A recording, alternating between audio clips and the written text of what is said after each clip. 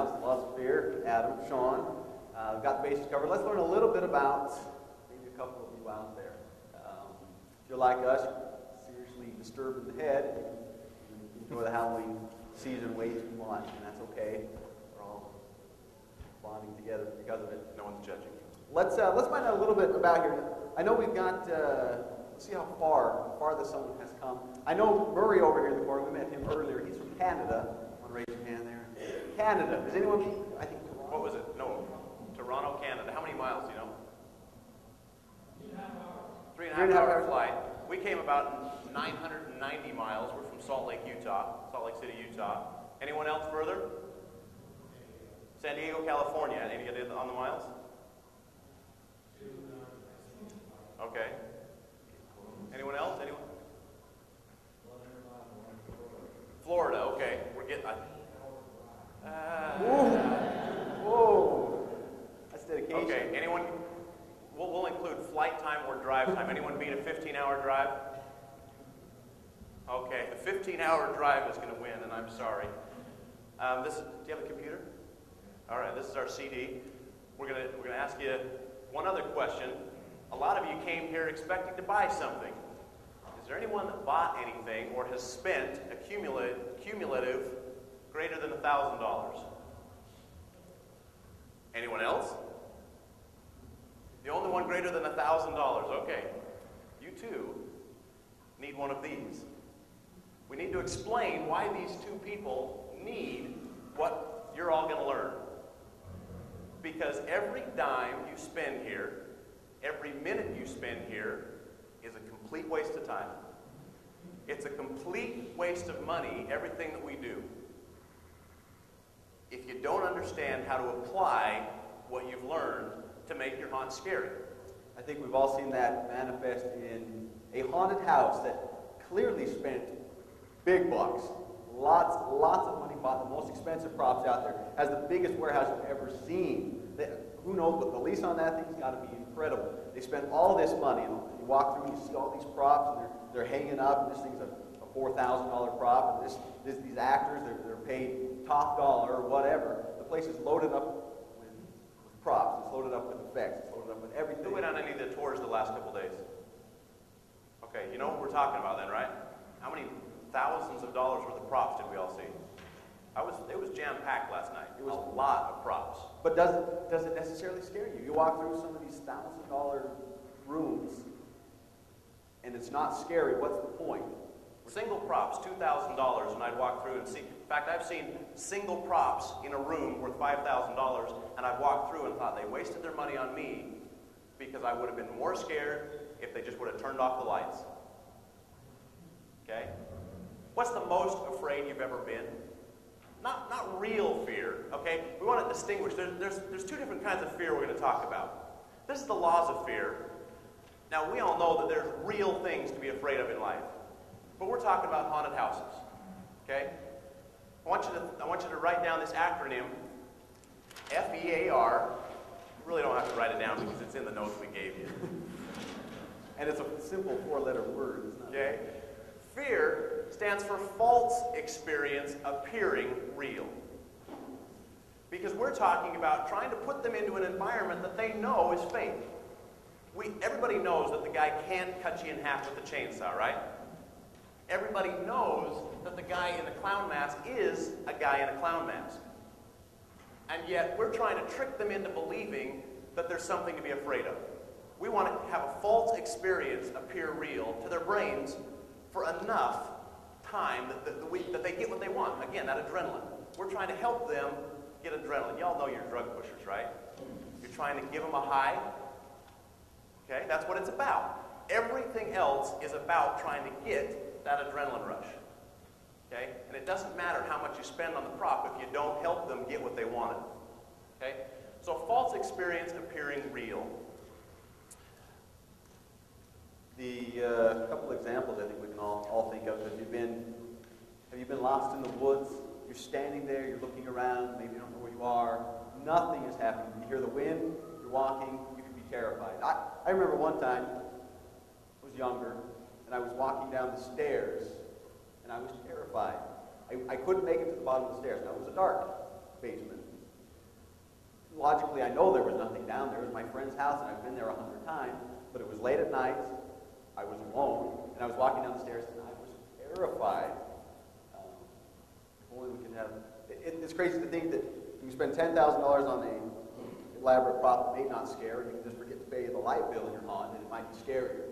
So, just uh, under understanding there's there's more than just throwing money at the problem. Let's figure out how to how to scare. And we're going to talk about that, that particular problem when we get over to distinguishing between gory and scary, okay? Um, started at 3.30. We need to finish by what time? 4.30, okay.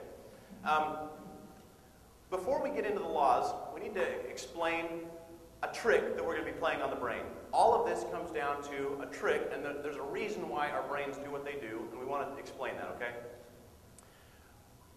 In our mind, we really have two pathways that the that a threat is analyzed. Okay? You've got the analytical side and you've got the instinctual side, that knee jerk, that reflex. Okay? Should I go illustrate? No, hang on that one.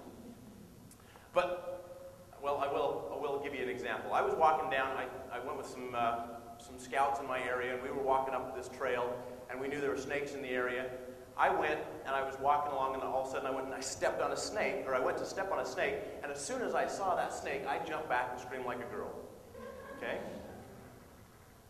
Now, that was the instinctual part, right? That's that startle that we're trying to help them get. I, I guarantee I had adrenaline. I had the adrenaline rush that I wanted. So, as soon as that instinctual ha part happened, the next thing that happened was my my upper part of the brain, the analytical part of the brain, started to analyze this, this snake. And it sat there and went, wait, wait, wait, wait, wait a second, that's a stick. Okay? So the instinctual part of our brain is easy to trick.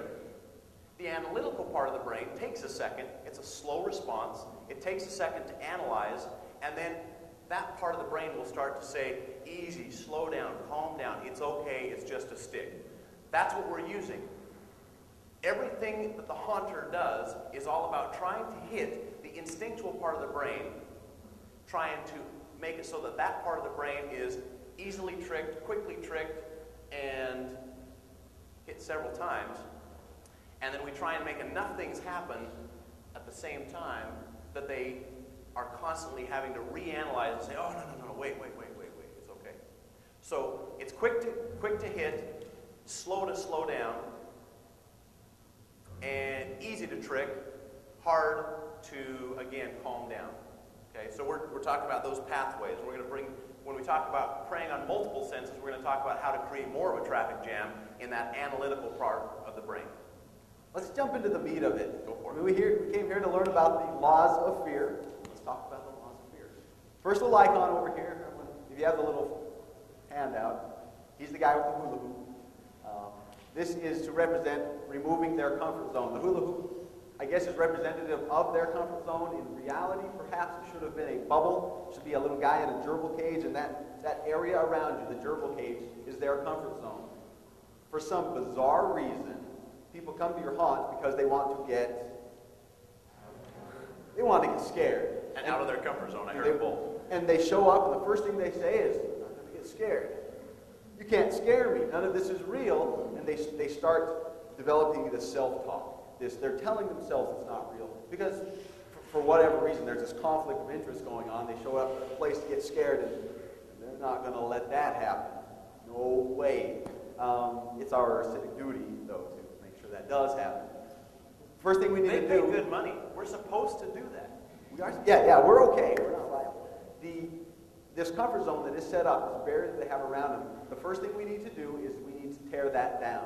Now, some of the comfort zones they have, they show up with their friends. They show up with, with uh, some sort of a support group, their peers, because they know the guy in the front of the line gets scared and they're going to be okay because they're standing in the back. They've, they've developed this, this comfort zone of peers. Some of the things their self-talk they can use. They'll, they convince their minds. They tell themselves, that's a latex mask. That's not real. That's just a person. I, they're the person behind that, and, and they talk themselves out of it. Um, some of the things we need to do. All, all the laws tie in together, and we'll cover that at the last effect. But when we get in their, their comfort zone, for the tear down, there's a few ways that we can do that. He talked about friends that people bring in. There's a couple other barriers. I noticed last night, and a lot of, I, I know a lot of us spend a lot of money on our props, and we want to build a barricade. We were talking with a few of our friends last night about how do you um, remove their comfort zone and yet protect your props. That's a hard line to, that's, that's kind of a balancing act you've got to figure out for yourself. How much are you willing to invest in a prop that you're going to put too far back to really be effective? You've got to decide that. Um, so barriers, distance, and direction. Okay, those are the comfort zones that we're going to talk about.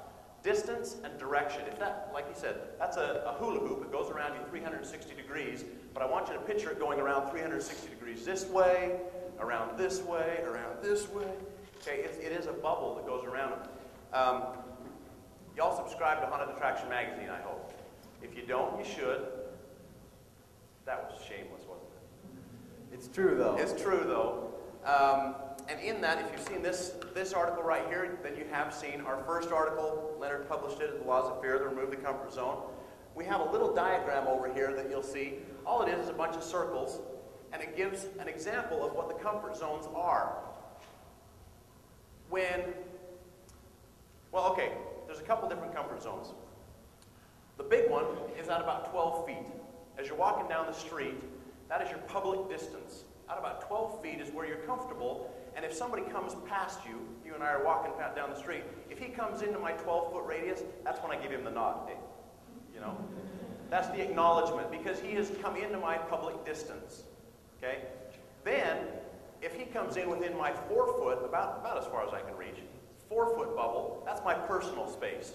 Now, personal space is, you, it's personal. You need to know the person that's in that personal space. Okay, we've got a lot of men and women, but you're going to be able to understand this. Urinals. Okay? There's, there's an unwritten rule that if a guy is standing at one urinal, the other guy has to be in that urinal over there. You don't come in to that personal space unless every single urinal is used. Okay? Another example is the elevator. You've all, walk, all walked into the elevator, right? The first guy walks in, and where does he go? The back corner. That's right. Okay? Now, the second guy walks in, and he'll go to this other corner. Try something. Okay? Face him and walk straight and stand right there. Okay? Especially if your face is painted like this. Yeah, that'll go over well. Okay? Now you're in their personal space. Okay? The last one is about 18 inches around you, and that's your intimate distance. That's where, you know, your wife, your kids, you can, you can hug them and hold them and things like that. Or if you're, you know, last night, some of these guys in clown masks, they get right up into that intimate distance. Okay? That's important. You want to remove the comfort zone and let them know that that space is not sacred. I think everybody knows this. Okay? You know that they've got to get up in there. But the place where we don't know it is we, we build our props, and where do we put them? We build a barrier, and then we put the prop back over here, and then we say, you walking through there need to be scared by my prop. Now, it wasn't in their space. All it was was something visual that they can enjoy. Okay? So you've got to figure out how you want to get those props close enough, and, if, and actually I'm going to talk about that in Synergy, where really all the prop is is a decoy anyway. That's really what any of your props are, is the decoy for the gotcha. We'll talk about that more. Okay, so we talked about distance, now direction. Direction means above, below, side, side. Okay? There needs to be, you've got to break down the belief that there's any safe place. What's the difference between a movie and a haunted house? What's that? Movie's up on the screen. It's in front of you, and that's it, right?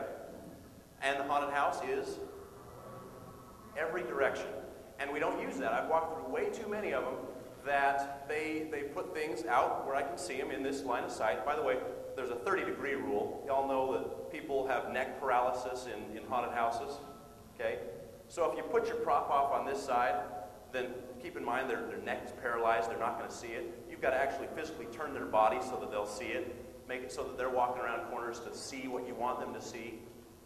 But the, um, the direction, you need to remove the belief that they're ever safe so that they're always anticipating something could happen from above, something could happen from below, something could happen from behind the wall, behind me, it doesn't matter. You've got to remove that comfort zone.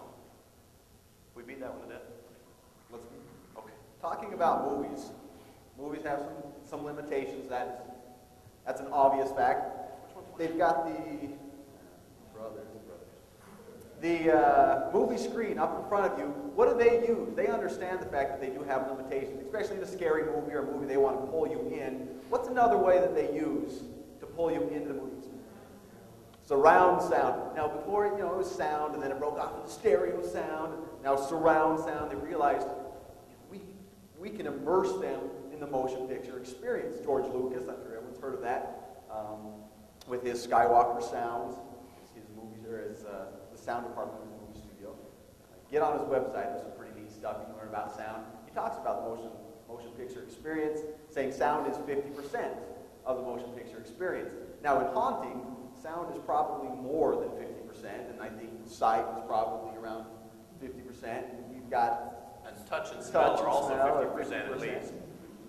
We have a whole bunch of senses. So what, we, what brings us to our next little icon here, the freeways merging into one. This is preying on multiple senses. We have all of these tools at our disposal. We can use sight, we can use sound, touch, uh, we can use... Now actually, talking about this, I think the one that's probably most used is sight. You walk into the display room next door, and there are 100 vendors there selling visual products. And there are a couple that are selling maybe a tactile product, something that we can touch. There are a couple that are using your, uh, the audio. And we thought sa- uh, smell is one that's probably not used very much. And it was interesting. We were actually in there, and the gentleman, he threw a couple little packets at us, and he said, hey, I, I was reading through your seminar, and look, you guys were talking about the, the sense. We use, we, we use smells. And he, he let me smell a couple. Y'all been over to Sinister, Sinister You smell them? Those are horrible. I love them. That. Did, did you smell the hippo's breath? I'm not going to. Oh, oh, yeah. I woke up last night just in convulsions. I could still smell it, almost taste it. It was horrid. But uh, one of my favorites, I asked him if he could drop off a couple packets and we'll throw them out so you can experience it. This rainforest, this damp, this dust. Who hasn't smelled one yet? The rainforest. And give some, some out to the hands. Throw, throw a couple of these around, smell them, and pass them. We'll throw one back here. Pass them around a little bit, smell them. It, it makes a really, makes a pretty interesting experience. Maybe pass this back this side. If you smell it, it, it smells kind of gross. It's something that's often overlooked. Maybe you should. We'll, we'll, we'll spend just a just a minute on it. Yep, you're jumping on, ahead. On scent. The uh, the ring. Seen the movie The Ring? Anybody? Hold it. Oh, you're jumping ahead. I'll let me jump ahead. All right. I'm standing here with a pen. I, I've got to do something. My, my brother Sean would like to explain something that's a little more boring. We're going to talk about all the senses and why it is important as, as we break them down. We obviously know that we've got five senses, five primary senses. Um, taste. We're not going to spend a lot of time talking about taste. Okay, I hope you don't spend much time trying to scare their tastes. But smell, sound, touch, and sight. Now the brain, again, this okay, technical alert. Okay, I'm going to get a little bit. I like using big words sometimes. Um, the brain. I really get excited about the way the brain works. Most of you know the brain is in two hemispheres, but did you also know that the brain is in multiple lobes? And those lobes all have different functions. Okay? Um, the, the way that the brain processes the senses that we have, our, our nose is processed by our olfactory bulb, which is just a little bulb kind of straight back behind your nose. But the sense of hearing is, is in the temporal lobes on the sides out here. Okay? The temporal lobes on the side for your hearing. Your sense of touch is in the parietal lobe across the top. It's kind of the top middle right there. And the sense of sight is processed in the back by the occipital lobe back here. And all of these, every single one of them, come from a different direction of the brain, and they're actually processed by the same little organ. Okay? I'm not going to go into what those all are, but every single one of those go into the same place to determine whether it is a threat or not a threat.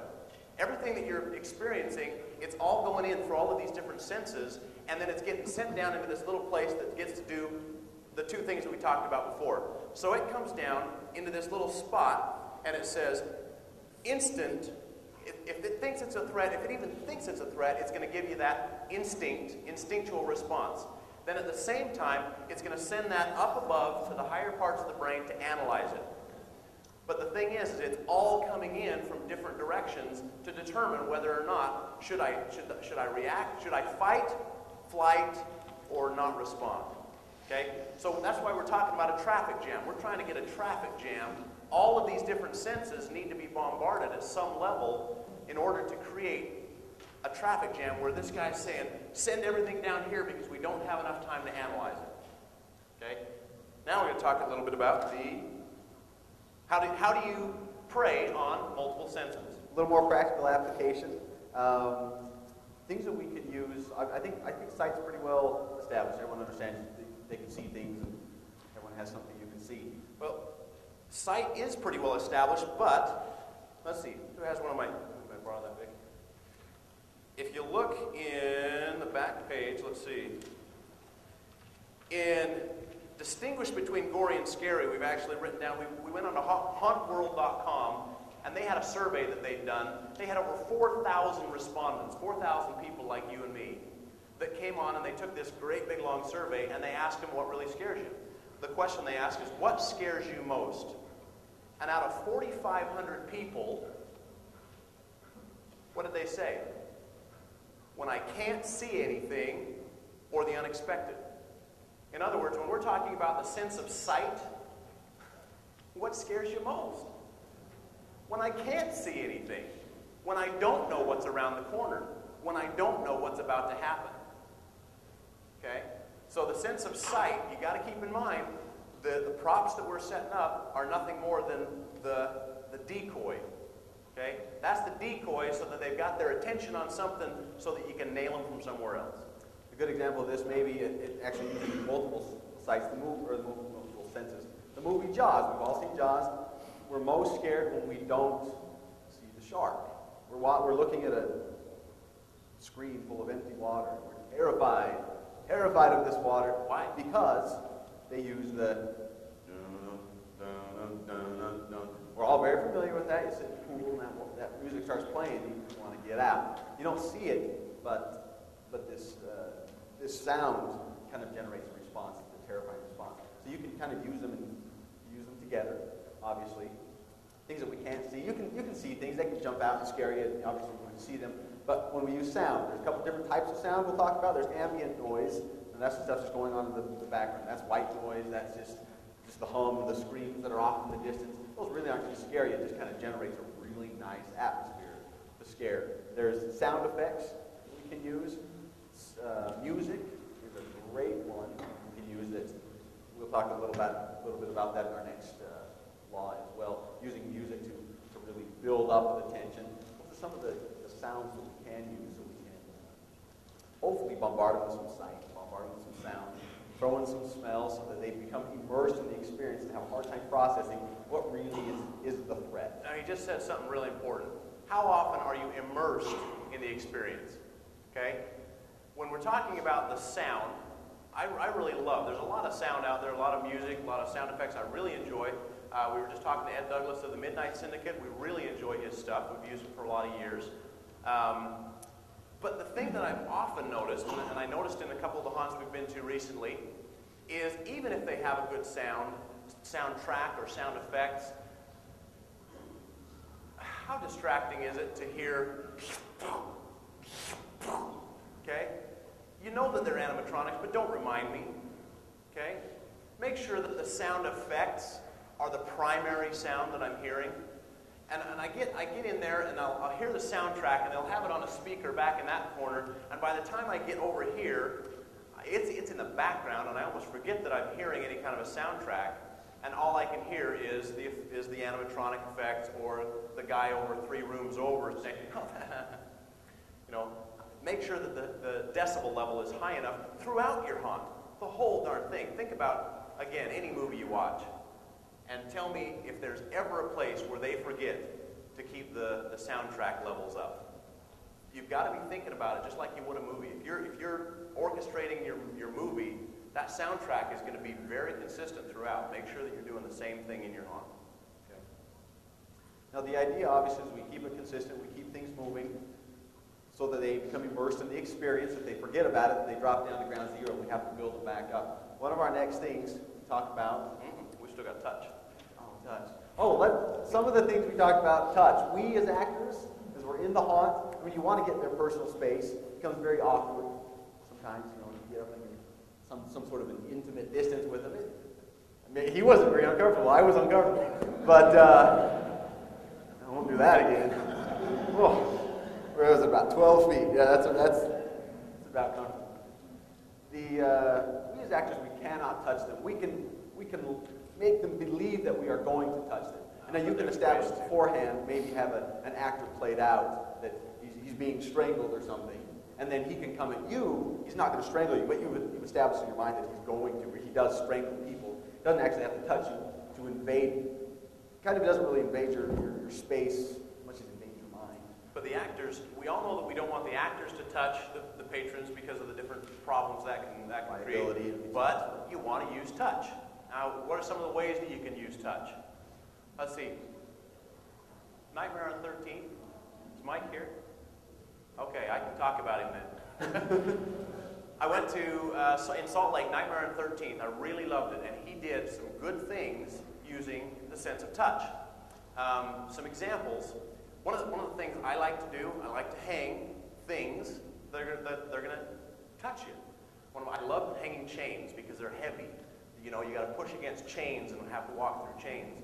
Um, in Nightmare on 13th, one of my favorite effects, or almost favorites, that's why I need to know if he's here so I can tease him about it. Um, they had a, a closet that you had to walk through, and all it was was a long closet with a lot of shirts that were kind of the long way, and they were really tight. And so, in order to walk through this closet, you had to push through these shirts. Okay? Now, first of all, my, my uh, distance and direction, my comfort zone was completely gone because these things are pushing against me, and I can feel the, the heavy weight of these things. Go ahead. Well, you raised your hand, so you interrupted. That's okay.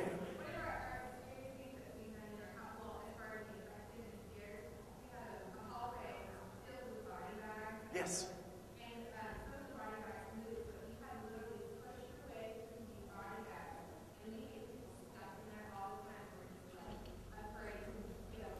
That's very good. I was, she, what she said was that they were they had hanging body bags. I love that effect got to you've got to walk through and push through these body bags. Nightmare on 13th did the exact same thing this last year, and I, I liked it. It really got me out of my comfort zone. Um, and this, this other effect was the same similar uh, feeling where I was pushing through these shirts, and uh, I mean, they're pushing against me. I, I would, it was a tight, closed space, so I was claustrophobic. The weight got into my space, and I couldn't see, you know, more than just a, a few feet in front of me, and so I knew something was going to grab me. I knew. I was so tense. We're going to talk about that here, okay? How do you get their tension up, and what's the process you use there? So anyway, so using the sense of touch, hang, you know, hang things. What's an, my favorite sense of touch? I, we spend all these times building these huge elaborate props, props, and I interview people at the end of the haunts that we go to, and I ask, what was your, what, where, were you the most scared? Oh, the compressed air. that feeling of that air hitting you, the sound, all of those things at the same time, that's, that's one of the, you know, everybody jumps with that. So, You got to stick with the basics sometimes. that's right. Turn the lights off, blow air on them. You're good. Saved. Everything beyond that is pure profit. Beautiful. Yeah, go ahead.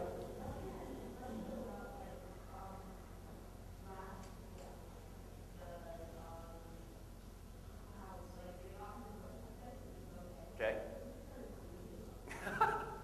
He's saying he didn't like when they were breathing. Oh, they probably paid him not to have good breath, you know? Let's, let's talk about smell for a second. We went to a, a haunt where y'all know Samara from The Ring, right? The movie The Ring. My, I took my son to a haunt this last year, and we were, we were actually doing a, a walkthrough, and um, I was recording everything and doing, uh, doing a service for these folks. And we got into this room, and, and this girl, she got right up into my face, and she was, you know, it was great, well decorated and stuff. And my son leans over to me and she goes, he goes, she smells good. She's been rotting in a well for seven days, but at least she shampooed this morning. and she put on- Right. So you know, if you're going to be rotting in the well, you know, maybe maybe they should put on cologne if they're going to be clowns that are in the you know decaying. Um, okay, so we've talked about touch, smell, sight, sound. Anything I guess the only, the only other thing about sight, and we mentioned most people seem to cover that pretty good. We're going to talk to anyone who's an actor or wants to be an, an aspiring haunt actor. Dedication. You know, when it comes to sight, I think, like we said, most people have pretty big elaborate things, and there's a lot to see, and nice effects, and nice, uh, nice ambience all the way around. One haunt. Adam, I got it. Adam knows my pet peeve. Um, we have a brother. Well, we have all of our actors that have ever worked with us are pretty dedicated.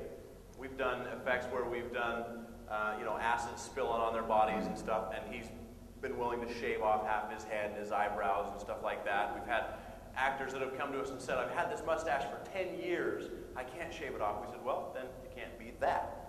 He said, "Oh, okay, gone." Well, I went through a a couple years ago where the they had a gorgeous uh, manor facade. They had out in front a guy who was in a full tux. He had a nice skull uh, makeup piece, and what it was was one of those half half you know half head things with the cheekbones and stuff. But he wouldn't shave his mustache. So I, I don't know. It's just a pet peeve. Yeah, I don't if know You're gonna ded- if your actor's going to be if they're not going to be dedicated, then Find a different part, find a different part. That's completely off the subject. Yeah, I don't know if anyone knows about decomposition, but you know, the mustache usually doesn't stay. Sure it does. Well, I mean, after the whole skeleton has been dried and leached to the sun. I think it does, doesn't it? Is the mustache there? I think, the, in fact, your hair keeps growing. Okay, let's talk about escalating the tension. I was, I was giving you the example of the, I was walking through the, the shirts, okay? I was walking through these shirts, and so they'd done everything right up to this point. They had, my space was invaded. This, they were using multiple senses. It was dark, it was, it was tight. Were, I could feel the weight of the thing on me, and I was tense, right? I was right there, and I knew that all it was going to take, and I, been doing this for 23 years. I knew that I was going to get scared. Y'all know that point where you know if somebody comes out, I'm there. So I walked through this thing. Our, our icon here is a, is a jack in the box. You've all heard the jack in the box. Give me the jack in the box. I think we're familiar with ding, ding, ding.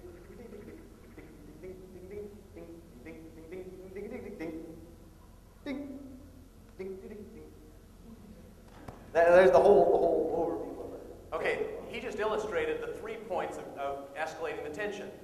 Okay? The first is establish a credible threat. The second is, what is it? Crescendo. Crescendo, thank you. And then the third is resolve. Okay, we'll talk about those three things. Establish a credible, credible threat, crescendo, and resolve. Do it again.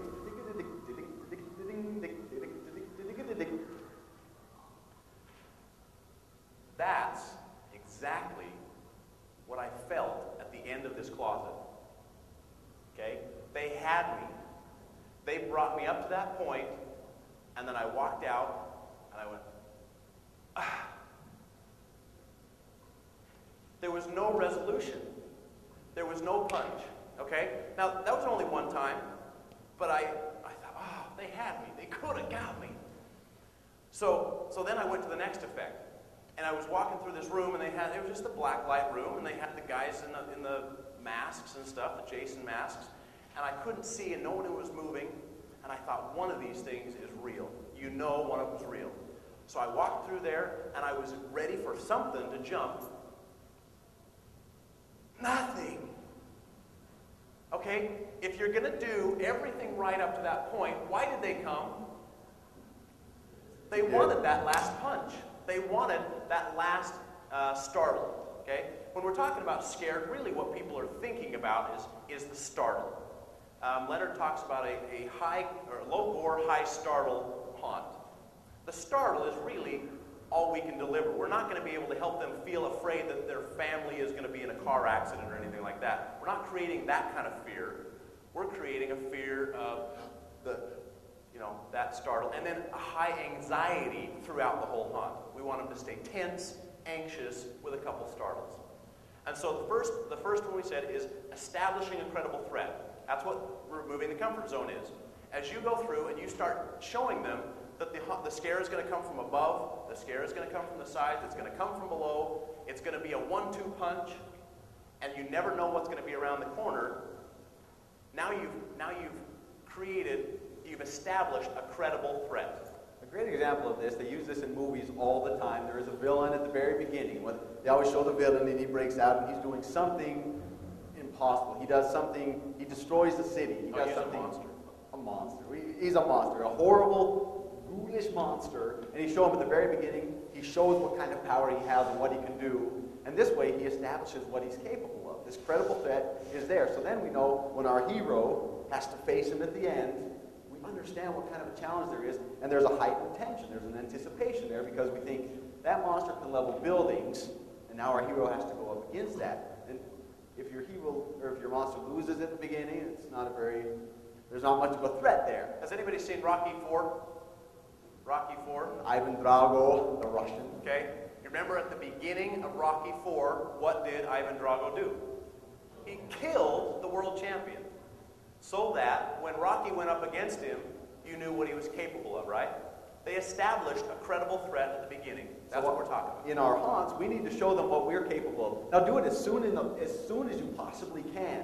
As soon as they come in to your haunt, don't let them get comfortable. Don't let them analyze.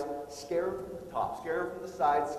Just scare them to death as soon as you possibly can. Because once you've scared him from the top, he's walking through, walking through a tunnel, and you see a big whatever, a big monster hanging above you.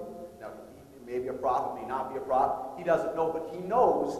You've already told him, I can scare you from the top. We have actors that jump down on top of you. So he has to walk under this guy. And now you can do nothing. Now you don't have to have him drop. Because because he's going to stay anxious and excited because he knows he could. That's what we're talking about. Now this is a great opportunity. Once he gets right through there, maybe he's done, he might relax his mind, think, well, this guy's not going to do anything. What a great time to, to, to blow an air, air compressor, jump from the side, jump from the other, whatever, because he's, his attention is all on the top and he knows he's going to get scared. And you do, you scare him, and it's so easy to scare, to scare somebody when they're waiting to be scared. Yeah, again, remember the decoy and the gotcha. So as you've established your credible threat at the beginning, now you can go through and use that as a pattern to start creating the decoys so that they think they know what you're about to do, and that's when you do the other thing. So the three parts again, establishing that critical threat, threat, we need to crescendo it. And when the guy's walking underneath there, what if the music on the side gets a lot more intense? This, this driving beat starts going and his heart starts Pretend you're racing. making a movie. I mean, that's exactly what they do. In the movies, the, the music gets louder. Think the Jaws. What happens? It starts out quiet. Dun, dun, dun, dun, dun. It gets louder. It gets faster. You know, the tempo goes up. You haven't seen anything, but you know it's going to happen. And so they've, they've, they have created the, uh, they've established a credible threat. You know he could eat somebody because he ate the swimmer at the beginning of the movie. Then you hear that there's this crescendo and now, when you finally have the resolve, it's more satisfying. And that's what we're going to talk about at the end. I'm going to throw out a word at the beginning so that you know, know when it comes. Startle potentiation. Has anybody ever heard startle potentiation before? Cool, I'll be able to explain it here in a few minutes, okay? So the three parts, obviously, we crescendo it, we resolve it. This is how we make a, this, I guess that's kind of the recipe of a, of a, of a scare. They use it in movies, they understand it's, a, it's something that we can repeat. We don't have to just throw props in there and think, well, I don't know, hopefully they just wander through and get scared by it. Got a question here? Desensitizing them, keep it random. Is was I? His question is, how do you keep from desensitizing? Uh, I think if you walk into a room, every time you walk into a room, someone jumps from your right and scares you, you're dressed like a clown. Every time you walk into a room, oh, there's another doorway. It's probably going to peek around. You don't walk through. You're not going to be scared. One time you might walk in and he's, he's standing there. Hello. The guy grabs you from behind. Yeah, you jump, you turn around, you see him from behind. Now you're scared. Oh, Well, and you remember we were talking about uh, at the beginning, if you will establish that credible threat, the next time you don't have to do anything, and may, sometimes you shouldn't. You should, you should just create, you should keep them in a heightened state, heightened state of anxiety for a long period of time. You can maintain that for a long time. And that's how you keep from desensitizing them is you keep them anxious for as long as you can, and then make sure you do have a punch periodically. But it shouldn't, like you, you don't want to desensitize them. You don't want to hit boom, boom, boom, boom, boom, boom. I, I teach my kids the same thing. If you, if you sit there and hit in one place, it'll eventually, you'll stop getting any kind of sensitivity there. You don't want to do that. You need to hit them there, then hit them there, hit them there. You know. See, in, in my family, I've got a little kid. He's about two years old. His name's Cole. He's got beautiful blue eyes and blonde hair, and he's a joy, and he's a lot of fun. And he loves when Daddy comes home to play hide and seek and peekaboo. I, I think everyone has kids, probably understand, relate with that. Well, they wanted to play hide and go seek, and I was okay with that. And I thought it'd be fun we turn on scary music, we turn down the lights, we get everyone to play.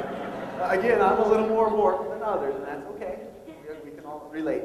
Um, and well, anyways, he's hiding with his mom, and we're, they're having a lot of fun. Well, lights were off, and it was my turn to hide. Now, I take things way too far. I play with a two-year-old, and I climbed on top of my fridge in the dark. It was scary. Okay, I, I, took it way too far, and that's okay, because I was up there, they're wandering along, and after a while, they're like, he's, I, they've looked everywhere under pillows and cushions, and they have no idea. They know I'm out there, but they have no idea. And he starts crying because he's thought he thinks this game's no, no fun anymore. Well, I'm still playing. I'm having a good time. I noticed my wife now coming to the fridge to fix him a glass of, or a bottle of milk. What a perfect opportunity to keep it random and, uh, and break, break down all the barriers. She comes in for milk, and I just grab her on the top of the head. I've been sleeping on the couch for a while. My back is recovering. But, uh, you know, it's a, it's a great way. If you, if you do keep it, you spice it up, you keep it random. They understand, you know, the peekaboo game gets old because they know what's going to happen when you drop it. You mix it up a little bit. Okay, we're going to have to move on. We're, we're how are we doing? Down 10 minutes or so, I think. About 10 minutes? We're still 10 more minutes? Um, let's move on to distinguishing between gory and scary. This kind of ties in with the sense of sight. Remember, we talked about what really is scary is when you don't see anything. But gore is part of this business. We all know blood, gore. You know, there's really nothing wrong with that. In our business, I'm okay with it. We had some of our favorite effects. Uh, this last couple years ago, we've torn Adam's heart out. Uh, we've impaled him. We've hung our brother from chains. We, I think those are kind of cool. We don't think they are, but some people say they are. Um, but we need to distinguish between what, what those things are for. Okay?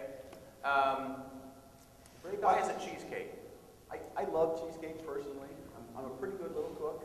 When I get into, I, there's a few things I make really well. Cheesecake is one of them. I do have some really good cheesecake recipes, and I'm a little picky about my cheesecake. One thing I enjoy. Now, when you're making a cheesecake, you're supposed to do it right. You make use the right ingredients, the best ingredients, and you mix it properly, and, if, and then you bake it at the right time, at the right temperatures, the right altitude, and you cool it down the right way. And if you do it right, the top stays nice and smooth. If you do it wrong, say you use the... Is there really a wrong cheesecake? Well, all right. You, you beat the, the batter too long, and it breaks up the inconsistency, or it breaks up the consistency of the batter.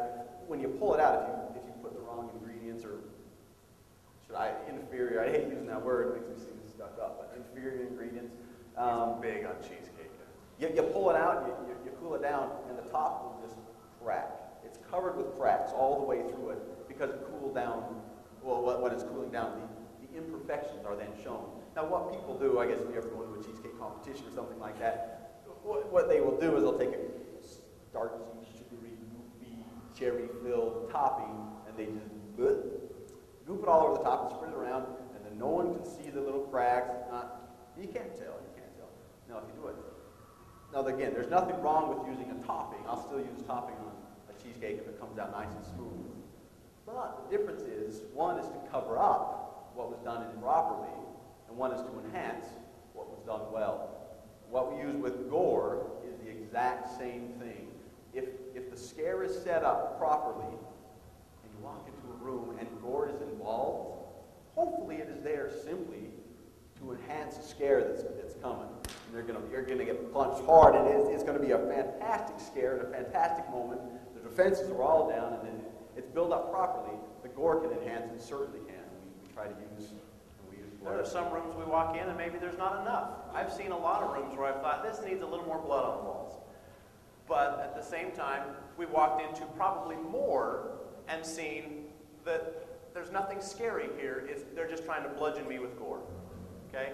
And I'm, I'm pretty okay with it, except for that it wasn't scary. And that's what we're here talking about. How do you make it scary rather than just gory? Okay? Uh, we're not going to beat that one to death, but uh, we'll, we'll continue on to the last one and the most important, um, and that is creating synergy between your effects. Synergy is a simple, is kind of the business term that means two plus two equals five, or ten, or fifty. It's it's when you take a bunch of little pieces and you combine them for something that's greater than the individual parts. Now I mentioned the word or uh, the, the phrase startle potentiation. Synergy is the business term. Potentiation is actually the chemical term. I'm sorry, technical alert again. It's the, it's the chemical term, and all that means is that if you take this chemical and you take this chemical and you put them together, you have something that's explosive. Okay? What we're talking about is potentiating the startle by bringing all of these things together so that they are um, tense to begin with, and there are, there are a lot of psychological experiments that are being done out there in a lot of different universities where they are trying to determine what kind of things potentiate startle. I was going to get scared anyway when the buzzer went off, but what, what can you do to make it so that I get really scared when the buzzer goes off? The same buzzer is going to go off, but my mindset was different up to that point. And that's what we're talking about, is if you can develop a mindset, keep that, that um, anxiety level high, by all of the things that we're talking about, then when the startle finally does happen, it's a much more effective and much more enjoyable for the victim startle. Okay? No, that's one type of, of synergy that we're talking about. Um, we, we mentioned at the beginning that the laws tend to mesh pretty well. If, if you're using one, you have to probably use a second one to enhance it. it. It's hard to use one thing if your haunt has nothing but it can't just use one law of fear because that will, it'll leave it alone. It'll just dry up and die. They kind of feed off of each other, and that's what we really need to, to assemble. Use these things to really generate a great haunt. In, there, there's a quote. I've talked about movies a bit. Uh, screenwriting, kind of the, if screenwriting, writing. There's a great book by Lew Hunter. He talks about screenwriting. In it, there is a quote that he talks about structure when you're building a screenplay, it's, it's structured. That's, that's how, it, how a story will play, a movie will play because it's based on structure. He talks about in life, things happen one after another. Structure is when things happen because of the other. Now that's kind of what we're talking about. We can, there's two ways to approach a haunt. We can go and grab thousands of dollars of props, and we can throw them in a room. A dark room. Yeah, we got to dim those lights dim the lights for the room. We can turn on the radio and have some sound effects going, and then we just start kicking people in. And man, we hope we hope it's happening. Something in there maybe worked, maybe didn't. And then next year we got to hopefully throw it in the right position again. Yeah, if it works, if then it worked. do you know why it worked? And if it didn't work, do you know why it didn't work? That's what we're talking about to say we need to develop a structure so that everything in your haunt is building up to, to the scare. Then you create the decoy so that their, their attention is on something, then you create the startle. Then you use that startle to establish a credible threat for the next startle. Then you use every single one of these and escalate and ex escalate and escalate until at the very end have something, something better than the chainsaw. I guess everybody likes it, but something that's the best, you know, something that they really leave screaming. That's why we talk about brainstorming too. Come up with something original. Everybody's out there doing the same thing, and all of the people are out there knowing that we're all doing the same thing. But if you'll understand the, the principles that we're talking about, not the how to what we're talking about, but the principles behind what we're talking about, then you'll be able to come up with a structure that will cause people to get what they want. People to come back, they'll tell their friends, they'll tell their friends, if you really want the haunt, you'll go down the street to those guys. So we can we're all, we all invest a lot, probably too much time, according to our spouses, too much money um, into, into haunting to leave it all to chance. If we're, if we're gonna do it, wouldn't it be nice to know that we're in control? We can sit back and say, that is a well set up haunt. That is perfect. Th- Those rooms work together so well. Instead of just having one room after another room, after another random room, after another room in our haunt. It's a structure that we can duplicate today, I can duplicate next year, I can duplicate in, in outdoor haunt and indoor haunts, going through single, going through as a group. I understand what scares people and I can control it, I can duplicate it, and uh, I'm sure it's much nicer to have control of your, uh, your haunt than just leave it to chance. We invest way too much just